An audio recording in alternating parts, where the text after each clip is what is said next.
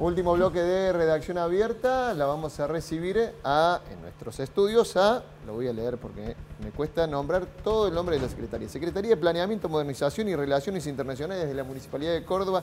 Alejandra Torres, ¿cómo le va? Buenas noches. Muy bien, gracias. Es largo el nombre e implica muchas funciones, ¿no? Sí, es verídico todo. Y es, todo largo, Sí, o sea que trabaja en planeamiento, en modernización. Bueno, usted lo que más, por lo menos, le he escuchado decir, habla de lo que es la modernización, de un Estado inteligente plantea esto de una ciudad inteligente. ¿Por qué? ¿En qué, en qué eso? ¿En qué se trabajaría para hacer eso? Bueno, eh, una ciudad inteligente generalmente la gente lo confunde como que es una ciudad tecnológica, que es un punto dentro de lo que uno incorpora dentro del concepto de ciudad inteligente. Pero eh, para ser más preciso, una ciudad inteligente sí claramente es que pone el eje eh, del trabajo en las necesidades del vecino. Eso significa que yo tengo que tener una interacción permanente, recopilar eh, información, eh, sus sensaciones, sus disgustos, sus reclamos, sus beneplácitos con los servicios que hace, eh, que tiene una municipalidad. ¿Y traducirlo en?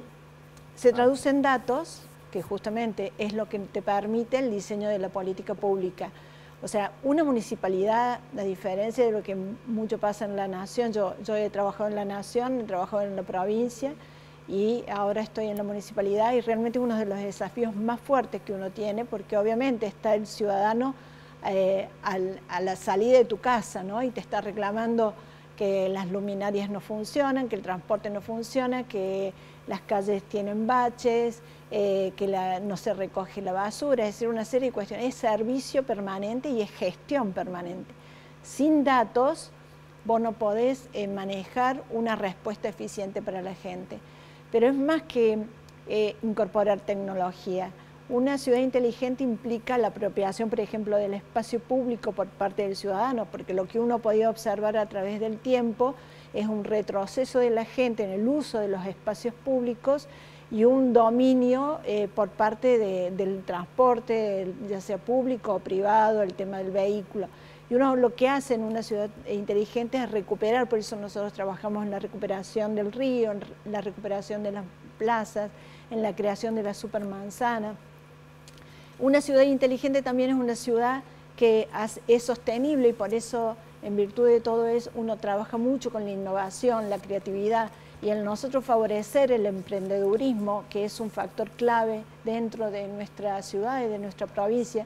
Tenemos un ecosistema emprendedor ah, muy, muy fuerte y altamente maduro, no, de lo dicho, no dicho por mí, sino que lo dicen entre encuestas internacionales, hace que uno pueda generar empleo de calidad y, que se incorpore, ¿no es cierto?, un montón de gente que por diversas materias está excluida. Alejandra, y hacia adentro de lo que es la municipalidad, ¿trabajan como eh, eje esto de pensar la modernización de la gestión? Porque también a veces tenemos como este, el desafío ¿no? de, ser bien, atendidos y en tiempo y forma eh, cuando hay que hacer trámites y no sé cómo hoy se está trabajando el desafío de modernizar la gestión del municipio. Es que em, la gestión de Martín eh, significó un cambio de paradigma en el funcionamiento de la administración pública. Y ese cambio de paradigma uno lo ve que, y la evidencia más clara es que en el día que él asumió, en vez de enviar una ordenanza que eh, para la aprobación del Consejo vinculada con el problema económico que tenía que abordar en la municipalidad como consecuencia de la deuda internacional que la municipalidad tiene, eh, mandó la adhesión a la Ley Provincial de Modernización y Simplificación de la Administración. Quiere decir con esto que el eje, ¿no es cierto?, es el ciudadano y el proceso de modernización adentro tiene que ser totalmente abierto. ¿Qué implica esto?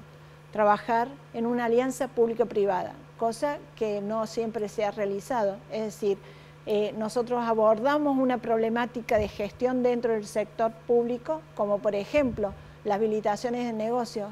La habilitación de negocios era claramente un obstáculo para la generación de empleo y de trabajo por parte de distintos emprendedores que querían habilitar un negocio y a veces, todos ustedes lo saben porque ha sido público conocido, eh, demoraba meses hasta años hasta que te habilitaban el negocio. Lo cual traía otra cuestión, porque yo a veces me cansaba como ciudadano de esperar la habilitación, lo abría por mi cuenta, venía el inspector, generaba situaciones que bastante oscuras o, eh, o turbias y lamentablemente eso eh, faltaba a la claridad, a la necesidad de la gente y a la generación de empleo. Hoy habilitar un negocio de bajo riesgo, quiere decir estos negocios que no, tienen en su eh, desarrollo, en su infraestructura, riesgos altos que pongan en peligro. Un comercio común, lo podés hacer en 15 minutos desde tu computadora, en tu casa, incorporando y siguiendo el proceso que la, misma plataforma te va indicando.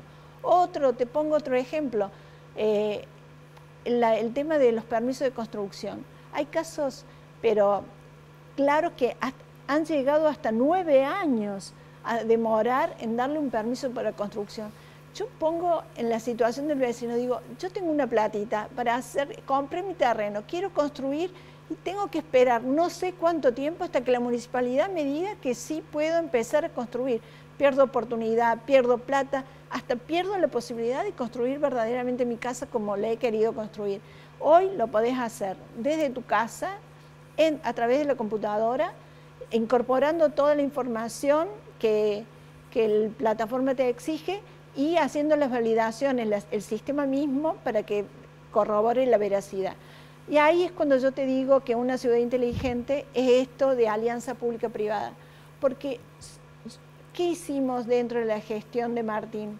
Nosotros eh, buscamos, tenemos un problema que es una administración obsoleta. Imagínate que estamos hablando de administraciones que por más de 40 años, 50, como también debe pasar ahora en la nación, no se han ajustado las normativas, eh, los procesos y por lo tanto son muy obsoletos y están pidiendo cosas que no, no tienen ni mucho sentido pedir, pedir en la actualidad. Vos, si te alias eh, frente a un problema público de administración ineficiente, haces una convocatoria, viene un emprendedor que tiene una herramienta digital o un proceso de elaboración que eh, te va a dar solución a ese problema, vos podés aliarte con él. Eso ya empezó, esto que se llama GovTech, ¿no? Sí. Eh, ¿Esa, rama ya se, ya se está ejecutando? Este es, el, claro, nuestra, nuestro modelo de administración tiene que ver con este vínculo que nos hace con el ecosistema GovTech, es decir, emprendedores digitales o startups eh, que tengan vocación de mejora en la administración pública, en el sector... O sea, Antes que se, vaya de tema, ¿y los tiempos de escrituración se han podido bajar? Está bien que ahí tenés que también trabajar con provincia, ¿no? Pero en el caso de ustedes, ¿han podido bajar los tiempos para escriturar? Mira, yo vengo de la provincia con un cargo similar eh, y ahí la verdad que nos valió de una serie de premios internacionales. Ganamos el Gobernarte, es un premio del BID del, en el año 18 y ganamos y fuimos invitados a la Asamblea Anual de las Naciones Unidas para exponer nuestro proceso de modernización, porque habíamos hecho inspección de personería jurídica, que es en la única provincia que todavía puede sacar la SAS. La SAS es, un, es una, un sistema, una persona jurídica, una empresa que se constituye en menos de un día y es muy importante a la hora de los emprendedores porque es de muy fácil y muy rápida constitución. Mejoramos el sistema de registro de la propiedad, mejoramos el tema del registro civil y obviamente nos metimos en todo lo que fue renta.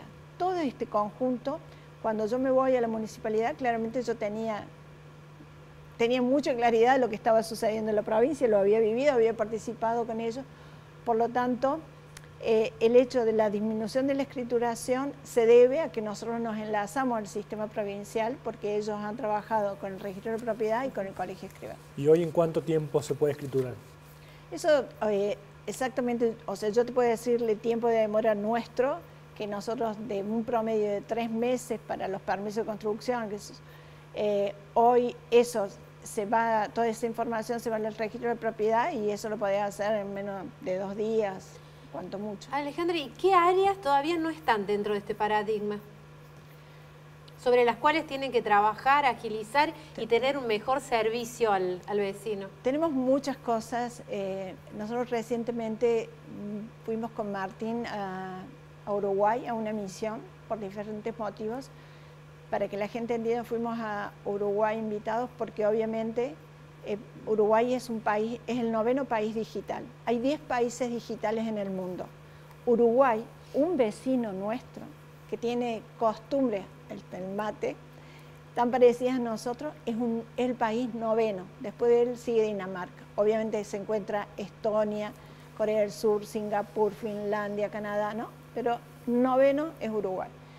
¿Y qué fuimos a ver? Todo lo que nos faltaba por, hacer y también pusimos, eh, nos, pusimos como a, que nos cuestionaran, en virtud de lo que nosotros relatábamos, cómo nos veían en este avance. Primera cosa que me sorprendió, pero bien, fue eh, propiamente la Intendencia de Montevideo, dijo, nosotros miramos mucho lo que Córdoba está haciendo.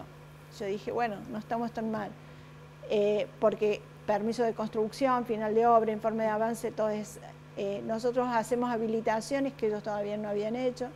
Ellos tienen un sistema de monitoreo de los semáforos que nosotros no tenemos, que aprendimos mucho y por eso hemos generado acuerdos de colaboración. Un, tema de seguimiento. Eso se lo vamos a agradecer. bueno, cuando eh, se logre tener un sistema. si no es esta semana, en la siguiente, eh, se abre toda la licitación de la red eh, semafórica, y de ahí en más empezaremos a ver el monitor para hacer el seguimiento y la mejora de ese servicio. Alejandra Torres, muchas gracias, por esta presencia aquí en Redacción Abierta. Nosotros nos vamos, volvemos la semana que viene. Cumpas, nos vemos la semana que viene. El lunes Martín. 15. El, claro, el lunes 15 feriado. nos vemos el 22, es cierto. El, lunes 15 feriado, así que no tenemos programa y con ustedes, con este espacio, con Redacción Abierta, nos encontramos mañana, como siempre, a las 20 por Canal 10. Chau, gracias por estar ahí.